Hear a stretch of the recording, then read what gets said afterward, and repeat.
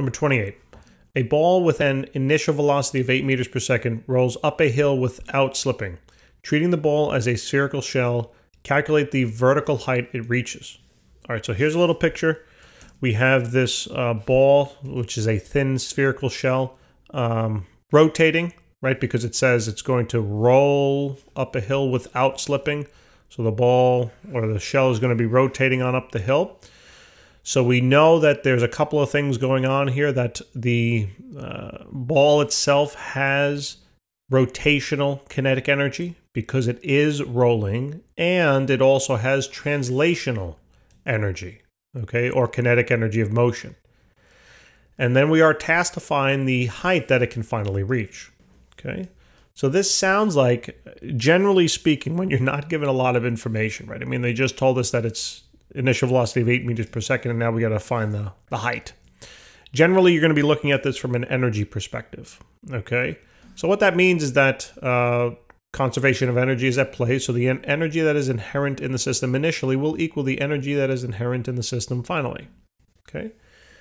So we have three types of energies in the problem, right? We have translational, or uh, kinetic energy of motion, okay, because they told us that the ball is moving at 8 meters per second. Meters per second is a linear, um, uh, what's the word? A linear variable, okay. So I know that there's translational motion here. I also know that they told us that the ball is rolling up a hill, all right. Um, since it's rolling up the hill without slipping, it is rotating.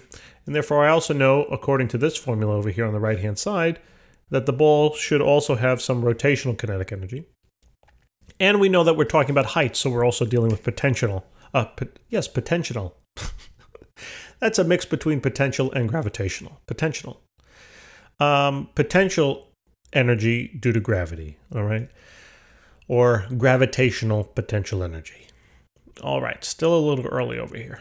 So uh, let's detail all of those energies. So we have the um, what do we got? So we have the kinetic energy of rotation initially, plus the kinetic energy of motion, which is the translational value initially, plus the potential energy due to gravity initially, will equal all of these final values the kinetic energy of rotation finally, plus the kinetic energy of motion finally, plus the potential energy of gravity finally.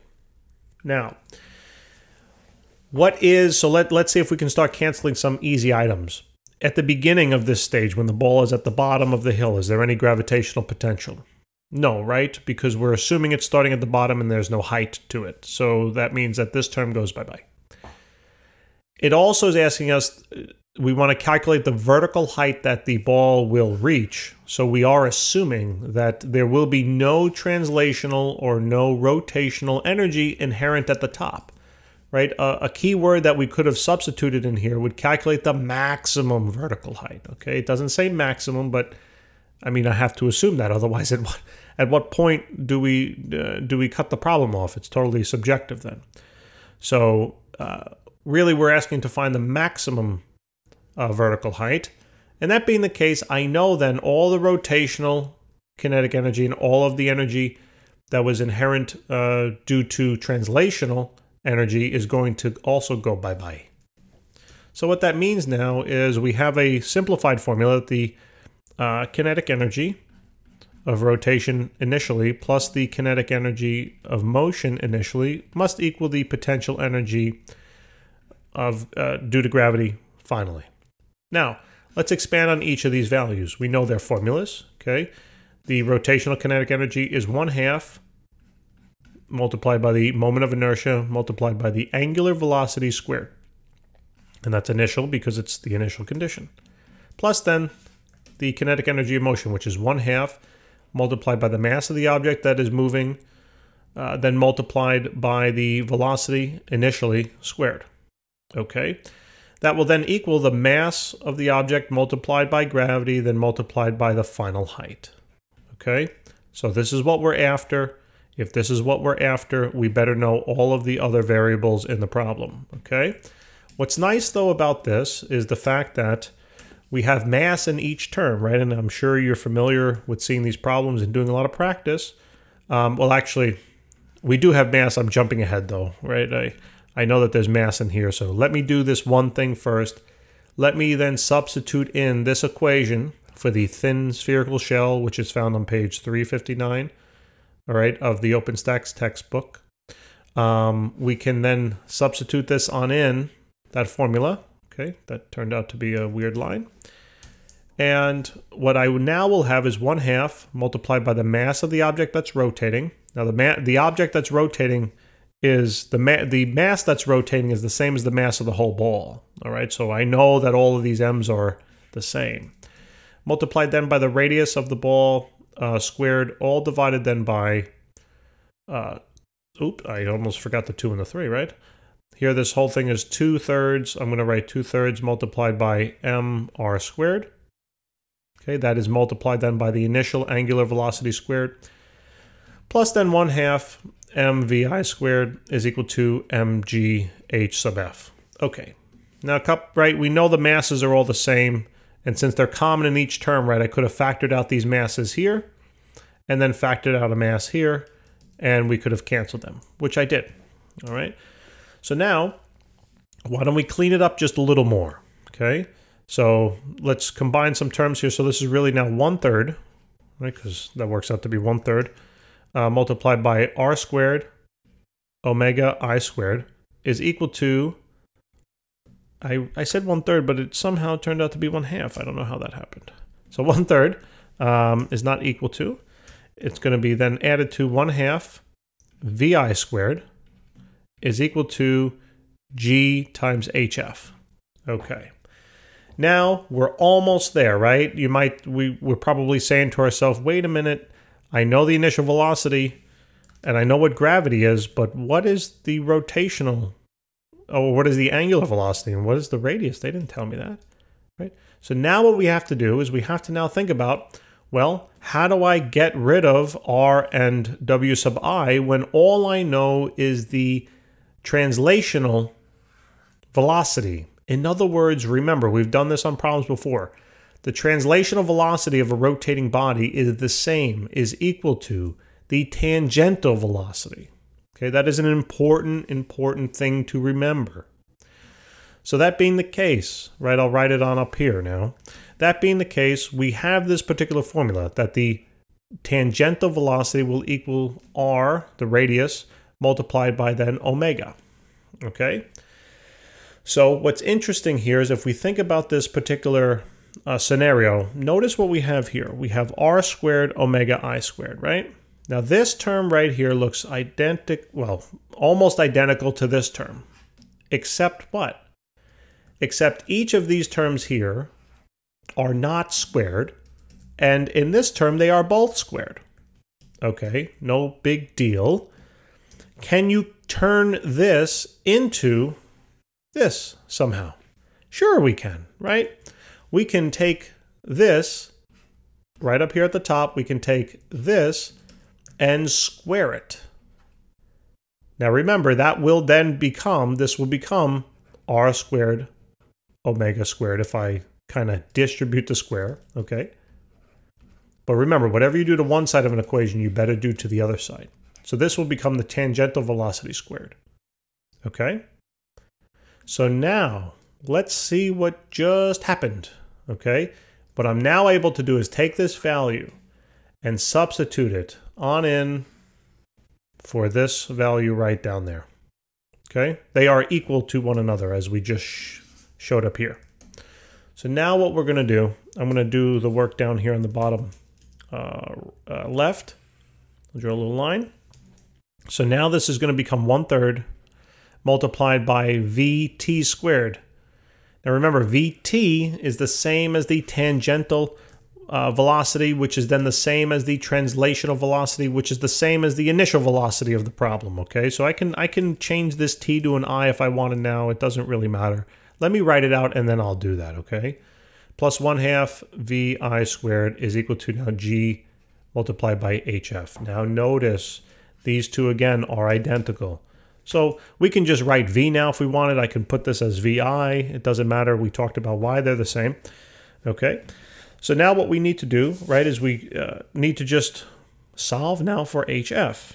And what we could do is we could simplify this a little bit, okay? We can add these two values together since they have the same base here of vi squared, right? We would take the third and add it to a half, find a common denominator of 6, right? And then multiply this by 2 and this by 3, and then add 2 and 3 together, so you're going to get 5 over 6. 5 over 6 vi squared is equal to GHF. Since I'm running out of space now, just divide both sides by G, okay? So what that will look like is, I'm going to just move this up a little bit. So what that will look like, I'm going to erase the G here and just divide it out on this side. Put the G over there. And there you go. Okay, here's your final formula. Look at that. A whole complex problem, you know, is able to be simplified down to this beautiful, you know, well, beauty is in the eye of the beholder, right? Uh, but this beautiful, simple formula. So now, all I have to do is plug in the values. So here we have 5 sixths of the initial velocity squared. So it's 5 6 multiplied by 8 squared all over 9.8. And what do we get? Let's see. 5 over 6 multiplied by 8 squared divided by 9.8. And looks like we get about Uh, 5.44. And yeah, 3 sig figs is good. So 5.44, 5.44. And this is in terms of meters. Okay. That is the height the ball will attain, assuming it doesn't slip and it rolls up the hill. So let's see what happens now when we look at letter B. It says repeat the calculation for the same ball if it slides up the hill without rolling. Now, there's an assumption here. You might say, well, it's sliding, so isn't there some friction going on? And I would agree with you. There is some friction going on, but did they tell us anything about the two articulating surfaces? Did they tell us the nature of the material the ball is made of, and the nature of the material the hill is made of. No, they didn't. Right? So who knows what they are? I can't just, you know, I can't just make an assumption here. I have no idea what they what what it would be. Absolutely no clue. So therefore, we have to assume, even though it doesn't say, we have to then assume the simplest set of assumptions is to say that it's frictionless. Okay? So it's going to slide up the hill without rolling, and there is no friction. So that being the case, I know for some of you out there that might not be satisfying. It, doesn't say that, but that's what we have to assume here. Um, so it slides up the hill without rolling. Now we know again the energy that's inherent in the system initially will be equal to the energy that's inherent in the system finally. Okay, there are only now two types of energy. The ball is not rotating. It's not going round and round and round and round up the hill. That being the case, there is no omega. If omega is zero, there is no rotation. Look at the formula over here on the right hand side, guys. If omega here is zero, what happens to the kinetic energy of rotation? Goes to zero. All right. So I know that there's only basically translational kinetic energy and potential energy due to gravity. That's it.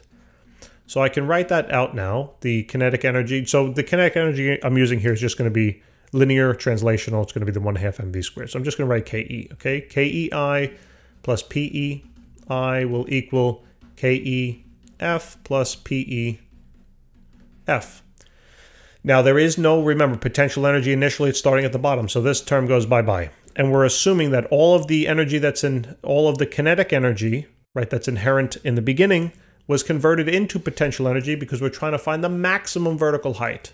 So therefore, the ball, once it, once it slides up the hill here, the ball, once it gets to this position, has no more velocity to it. And therefore, that term cancels out. So we're left with a very, very simple equation now. We have the kinetic energy initially will equal the potential energy finally. Okay, expand on this formula. So remember, it's 1 half mvi squared is equal to mghf. Okay, notice the, oops, notice the masses cancel, bada bing, bada boom. And all we got to do now is then just solve this for HF. So it's going to be 1 half VI squared all over G is equal to HF. We'll plug in the values now. I'm going to do it over here. So this is 1 half multiplied by 8 squared all over gravity which is 9.8, and that's going to equal the final height. Let's see what we got. So 0.5 times 8 squared divided by 9.8, and we get 3.27 or so, considering the rounding uh, when we use 3 sig figs. So here it is 3.27, so 3.27 is equal to, and that's in meters, is equal to the final height, okay? Notice the similarities between the two formulas, ladies and gentlemen, right? What's the only difference between this, or I should say, this ending result for where there is no rotation, and this ending result on the bottom left when there is rotation. Right? The only difference is in terms of the fraction. This is 1 half, and this is 5 sixths. Okay? So 5 sixths is obviously greater than 1 half. How did the 5 sixths come about? The 5 6 remember, came about when we combined the 1 third and the 1 half. So essentially, what happened is here is the uh, kinetic energy initially of translation. And what we added to it, we added this rotational kinetic energy. Okay, so whatever this thing worked out to be, whatever the one third worked out to be, all right, which basically worked, which then this one third came from where? Well, it came from the one half multiplied by the two thirds. Where did the two thirds come from? The two thirds came from our moment of inertia formula. So the only way this problem will change in terms of uh, the body that's rotating will be a result of this moment of inertia, the fraction that is inherent in here, the two thirds. Okay, if you deal with a different object like a like a disc, or you know you deal with a thin shell, whatever the case is, a hoop, the only way it's going to change is via the fraction.